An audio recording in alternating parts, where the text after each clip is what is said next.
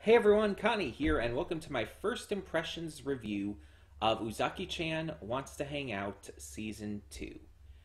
Um, so yeah, we finally get to Season 2. It has been something I have been waiting for for quite a long time. Um, but just a little recap if you uh, didn't see my uh, Season 1 first impressions video, or just didn't know my thoughts on on this series at the start. So Uzaki Chan wants to hang out. Um, is a series that came out a couple years back, and I wasn't interested at first. It was one of those shows that I just didn't really have an interest in. I had seen the character designs, and it's like, oh, Uzaki's really fucking cute, but I, I just never really thought like I should check this out. But I finally decided to give in and do so. And I checked out the first episode and I loved it, actually. I thought it was really funny. It was really cute. I, I thought it was wonderful. And so I continued watching. I did a first impressions video on the first episode and everything, and I continued watching. And yeah, I really enjoyed it. I, I thought it was a very cute series. Like, I mean, one of the big hangups going into it that I had was like, oh, is it just going to be ridiculously fan servicey to the point of, you know, unenjoyability? And the answer is actually very much no. Like, there is definitely fan service, like, obviously. I mean, Uzaki has massive ass tits. so there's gonna be fan service, and there there's quite a bit of it throughout the season. Um, but it's really not that bad. Like you would think it would be a lot worse, but it's really not. Like the fan service is there, and, and like it's pretty obvious, pretty blatant about it, but it's very much overshadowed by the comedy, the ridiculously fun situations that the characters find themselves in, and the growing relationship between uh, Shinichi, Shinichi Sakurai and Hana Uzaki. Um, and it's it's honestly really cute and kind of wholesome a lot of the time. Like it surprises you with that. Um, and, and the relationship between them is very natural feeling. It, it doesn't come across as forced. It doesn't come across as unbelievable at all. It's very natural, and it makes you actually root for them to get together. Um, so so I really really enjoyed it, and there were so many great moments in in the first season. Uzaki had so many great outfits, um, a lot of wonderful side characters such as Ami, who uh, works at the same cafe that they do and is really invested in getting them um, together. um, and, and, so I was really excited when season two was announced. I, I hoped it would have been, and it finally did. And so when season two started airing, I'm wondering, like, okay, I'm waiting for the dub for this because one of the biggest appeals for season one for me was the dub voices. Monica Rial is definitely one of my favorite uh, dub VAs. Her her performance as Hana Uzaki is flawless. In my eyes, she is the quintessential voice of this character. I've heard the Japanese and it's not bad. It's just I I so vastly pref- prefer the English voices, and she's one of the main reasons. Um, but you have other great voices in there as well, besides just her. Um, and, and I'm really excited to see where they take it now that the dub has started airing. Because I was waiting, and, and, there's three episodes of the sub out, but only one of the dub out so far, as of when I'm recording and uploading this on, on that day. Um, and, and so I was waiting for this for a couple weeks, and it's like it's finally here, and it's like I didn't even know it had come out. I was literally looking on Twitter. I, I, because Twitter is how I gain a lot of my news, especially for dub premieres. And I, I was looking on Twitter and I, I, I looked up like Uzaki dub in the search bar because usually I'll find if if something was announced, I'd be able to find it that way. It's like, oh, here's the announcement. And I saw it's like it, it came out this past weekend.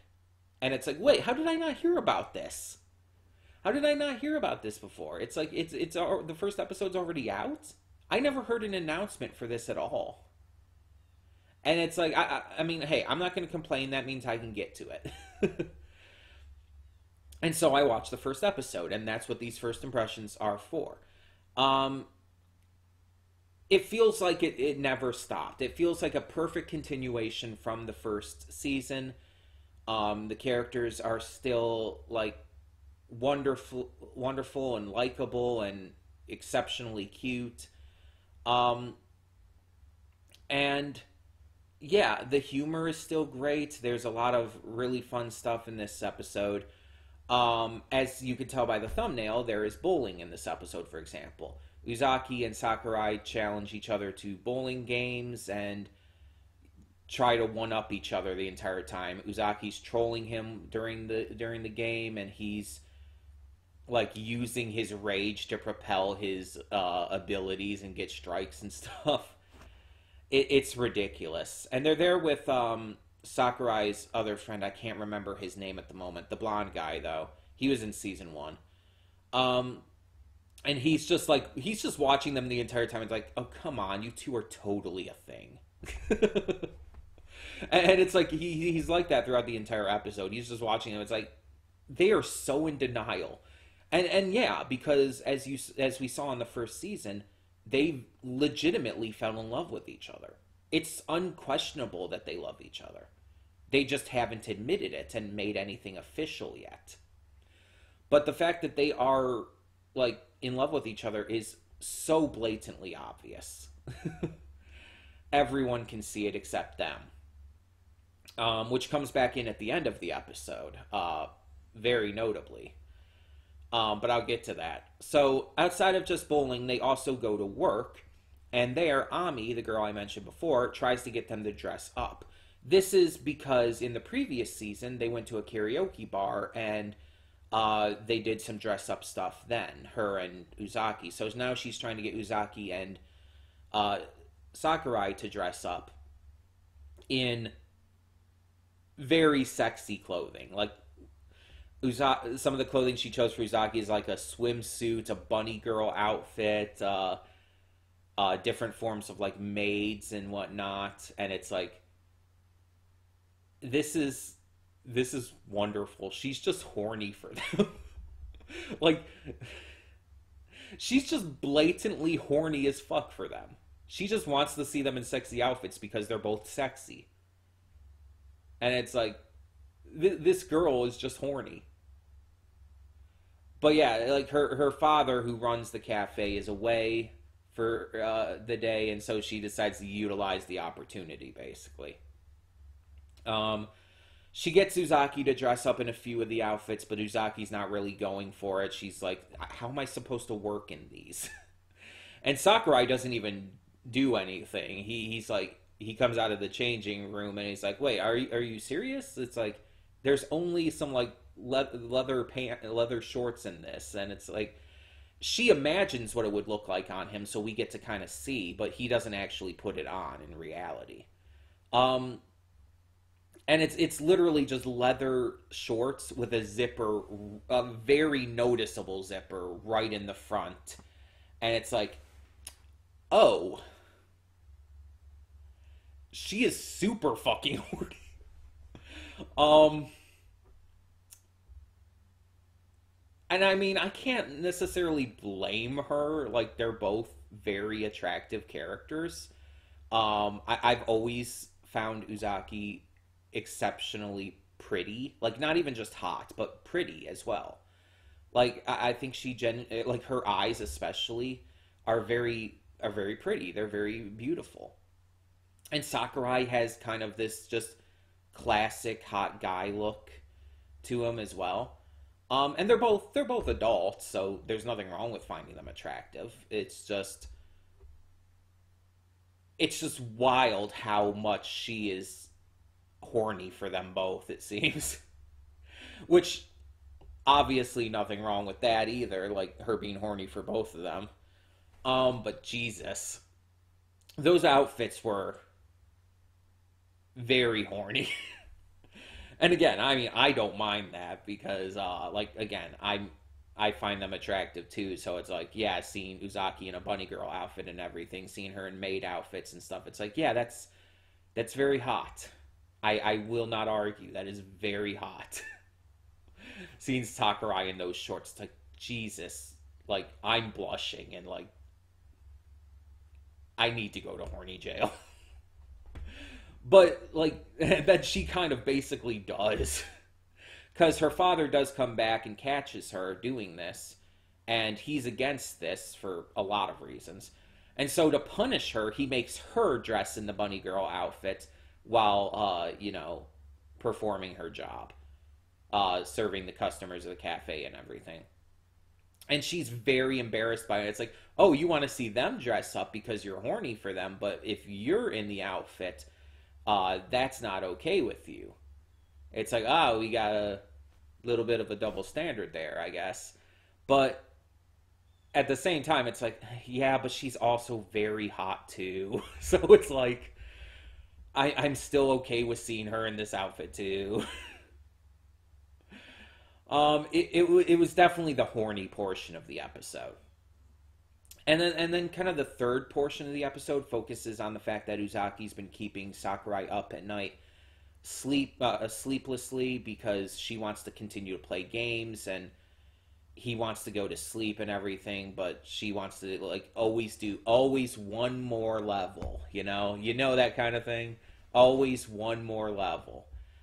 Um, but Sakurai falls asleep, and so the next day in, in school, in their college, um, he's trying to get some extra rest during the day, and Uzaki finds him sleeping on a bench and decides to lay down beside him uh, while they wait for their next class and just basically uh, snooze with him. They both end up falling asleep. Uh, well, he was already asleep, but she ends up falling asleep by him, and like they end up cuddling while they're asleep, and it's like the one friend, the blonde guy again, comes by. It's like, are you are you serious? Like, you are really this much in denial. I mean, look at you two. and it's like, God, they they are so cute. And it's like, please just make it official already. We know they like each other. We, and and you're doing shit like this, and it's like I know that's the nature of a show like this, uh, to do the entire will they won't they, even though it's so fucking obvious they will be together it's just yeah like come on. Like they looked so fucking cute and everything uh together there. Like and and they again they genuinely like each other. It, it's not even a question. Like yeah they play it off as they're just like really good friends and everything. And uzaki sometimes makes fun of him while playing it off uh, to like say like, oh no, no, no, we're just uh, I, I felt I felt bad for him, so. but we've seen it time and time again, and it's even shown in this episode. Them the way they look at each other, the way they talk about each other. It's like it's so obvious that they have a thing for each other, and I, I think that they just don't want to admit it. I think Sakurai doesn't want to admit it because Uzaki to him is sometimes a little annoying and sometimes a troll. But he, he, he acknowledges they're good friends. He acknowledges that. But he just doesn't want to admit that he has feelings for her as well. And she doesn't want to admit it because she's shy as all fuck. like, she plays it off because she's also an extrovert. Um, and these two things can coexist because I'm that way. I'm an extrovert, but I'm also shy, but in a different manner than her see she's an extrovert in the fact that she's very like excitable. She has a very like wild personality and is constantly talking to and making fun of uh, sakurai and hanging out with others and stuff. Um, but she, but when it comes to actually admitting like her real feelings about things, she really gets notably nervous and she starts like stuttering and like breaking down and getting really scared uh it, it seems. So I, I feel like it's very clear that she's putting on almost a persona like this this excessively exuberant persona. I think she is an extrovert but the the excessively wild personality that she is shown to have the constant making fun of sakurai and everything and just everything else with her personality it's it's an act.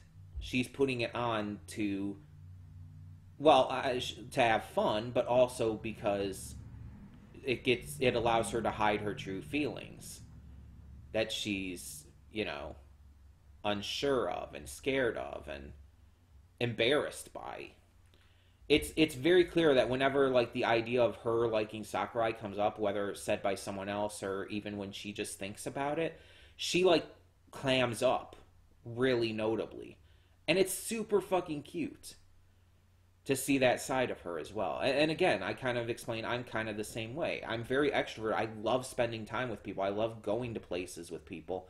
I I, I love going to like parties and hanging out.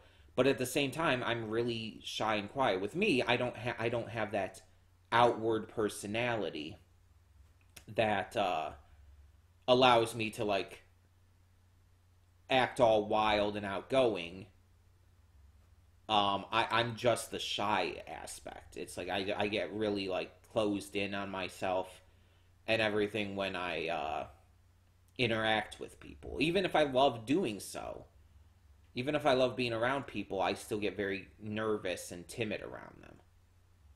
So it's it's a different kind of shyness compared to the extroversion uh, than with Uzaki, but I still kind of get the idea and the feeling there.